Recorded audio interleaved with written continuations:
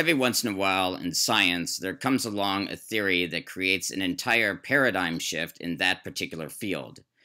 Danny Vendramini's Neanderthal predation hypothesis is not one of those theories, even though it purports to be. I discussed and debunked Danny Vendramini's theory in my very first YouTube video. Now, usually they say that YouTube videos get most of their views in the first month or so after they're posted. And while that often is the case, this video is more than a year and a half old and it's gotten about 6,000 views just in the past couple months. Before then, it had only about 3,000 views. So this video still seems to be quite popular. I didn't really expect that many people to be interested in Danny's theory, but because it was my first YouTube video, it wasn't my best video. I still stand behind everything I said in the original video, but this new updated video should be better and more thorough than the original video was. The Neanderthal predation theory is essentially a theory that postulates that Neanderthals were actually scary monsters. According to Danny, they look nothing like what actual scientists claim they look like, and in fact, they were very aggressive and hunted us nearly to extinction. And in the process, they also had a lot of non consensual sex with our women. Now, Danny himself is not a scientist. He has no background in science. In fact, he's an Australian television producer. Now, I do believe that someone who has no background in science is fully capable of coming up with a valid scientific hypothesis. But in this case, that's not what happened. I bring up the fact that he is a television producer because the Neanderthal predation theory reminds me a lot of a cheesy science fiction television show or movie more than it does an actual scientific theory. Danny has never been able to get any of his theories published in a respected, peer reviewed scientific journal, even though he has tried. Now, the peer review process is not perfect, but the point of the peer review process is to keep garbage like Danny Vendramini's theory out of respected scientific journals, and you can say that the peer review process in this case has worked.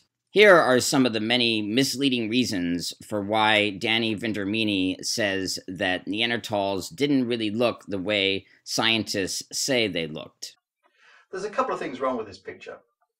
First, it's not based on any sound archaeological evidence. That's because soft tissue features like skin, hair, colour, and eyeballs are not preserved in the fossil record. Danny's claim that hair is not preserved in the fossil record is totally false. Danny wants us to believe that these Neanderthals really looked like scary gorilla monsters covered in fur. But fur actually does fossilize because it's not a soft tissue. There are species that go back millions of years in which we've found evidence of fur because fur fossilizes. Neanderthals are not millions of years old. So when Danny goes around saying that fur doesn't fossilize, he's totally wrong. That's just not true. And this is why Danny could not get anything published in a peer reviewed journal. Because in a peer reviewed journal, his peers would say, Hey, Danny, you do realize that fur actually does fossilize.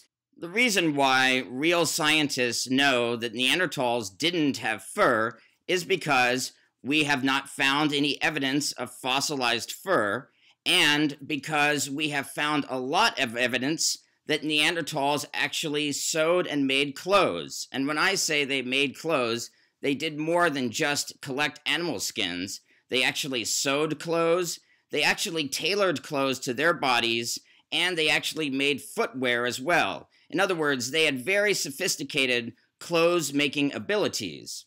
Danny making the totally erroneous claim that fur is soft tissue, which it's not, and therefore doesn't fossilize, is exactly the reason why real scientists don't take him seriously, and it's one of the many reasons why you should not take him seriously either. We also know that Europe was not in a state of constant glaciation when the Neanderthals lived, as Danny claims. Instead, the Neanderthals, for a few hundred thousand years, lived in Europe during an interglacial phase. During those times, the temperatures of Europe were no colder than they are today. So we know that Danny's claims that Neanderthals had to have had fur is absolute rubbish. Danny's ignorance of the climate is yet another reason why Danny is not published in any peer reviewed scientific journal. Danny also tries to claim that part of the reason why the Neanderthals looked like gorillas and not so much like Homo sapiens is because Neanderthals were primates, and so are gorillas. Well, here's the problem Homo sapiens, we are actually primates. So it doesn't make any sense to go around saying that Neanderthals are primates, therefore they looked like gorillas. Yes, gorillas are primates, but so are all humans. Danny Vendramini is a primate. So trying to make a case of saying, well, you know, the Neanderthals are primates, therefore they look like gorillas, doesn't make any sense. You could also make the argument that the Neanderthals are primates, therefore they look like Homo sapiens as well, because Homo sapiens are in fact primate. And that is yet another reason why Danny Vendramini cannot get this ludicrous theory published in any peer reviewed scientific journal. Because during the peer review process, your peers would say, Hey, Danny, you do realize that Homo sapiens are primates as well. So your argument that Neanderthals looked more like gorillas because gorillas are primates isn't valid, since Homo sapiens are also primates. Another laughable aspect of Danny's theory is in his assertion that Neanderthals really looked like scary gorilla monsters, he tries to say that you could easily superimpose the top of a Neanderthal skull onto the head of a chimpanzee. But doing so completely ignores the position of the foramen magnum. This is the hole at the base of the skull where the spinal cord passes through if the Neanderthal skull was really in the position that Danny claims it was in, that would mean that the Neanderthal spinal cord would actually have to come out through the front of their neck, which doesn't make any sense. This is again why Danny Vendramini's theories are not taken seriously by actual scientists, because actual scientists do know something about anatomy, unlike Danny Vendramini. This is why he can't get this theory published in a real, respected, peer reviewed science journal because his peers would point out to him his mistakes in anatomy. Danny's theory gets more and more absurd. He eventually claims that Neanderthals were not only these scary gorilla monsters, but that they also ate us and had non consensual sex with us and almost made us extinct. To support his theory, Danny points to the fact that there have been some reports of certain times in which Neanderthals committed cannibalism. And while it is true that we do have some evidence that Neanderthals sometimes, but pretty rarely, were cannibals, we also have more evidence of incidences in which Homo sapiens, our own species, in prehistoric times, were cannibals. So we actually are more cannibalistic than the Neanderthals were. So that doesn't really make a lot of sense. We also do have evidence that Neanderthals and Homo sapiens did mate because most human beings who are not of African descent have some Neanderthal DNA in them. But that's actually a sign that Neanderthals and Homo sapiens are fairly closely related species if you were to try to mate with a chimpanzee, you would not have offspring. In order for two species to mate and have offspring, which is what happened with the Homo sapiens and the Neanderthals, these two species have to be fairly closely related.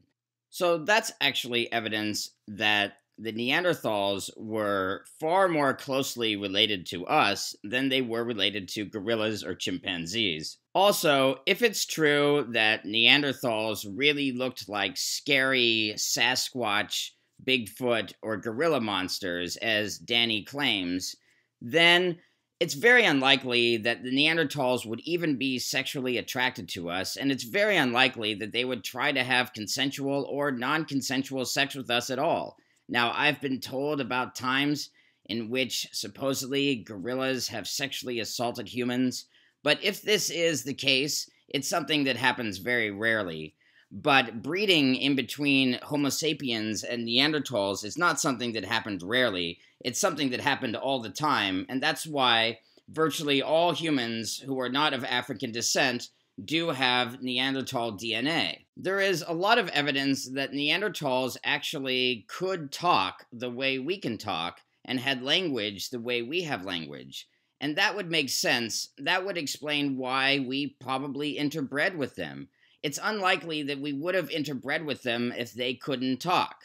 It's also very likely that almost all of the sexual relations between Homo sapiens and Neanderthals were consensual relations. Although my original video on this topic does have more likes than dislikes, based upon many of the comments, there are a lot of people that really want to believe Danny Vendramini. I don't know why. The truth is, there are so many flaws in Danny Vendramini's theory that I couldn't possibly get into all of them here. I will say this the reason why Danny Vendramini is not accepted amongst real scientists is not because of a conspiracy, it's because he doesn't deserve to be respected as a scientist. He's just a pseudoscientist, and the Neanderthal predation theory has all the hallmarks of pseudoscience. Like I said before, I do not believe that you need to have a background in science to come up with a scientific hypothesis that is valid. However, in Danny's case, he has not come up with a scientific hypothesis that is valid. The Neanderthal predation theory is just a bunch of rubbish. For someone like Danny Vendramini to be taken seriously, he should know certain things like the fact that fur actually does fossilize and that Homo sapiens are primates, but he doesn't seem to know these things. Instead, Danny gets nearly all of his facts wrong. So if you like this video, go ahead and give it a like, and if you haven't already, subscribe to my channel, click the bell icon for notifications, and together we shall take over the world. I upload 6 to 8 videos a month on topics including science and evolution. You can also follow me on Twitter, Instagram, and Snapchat at Zorkmid123.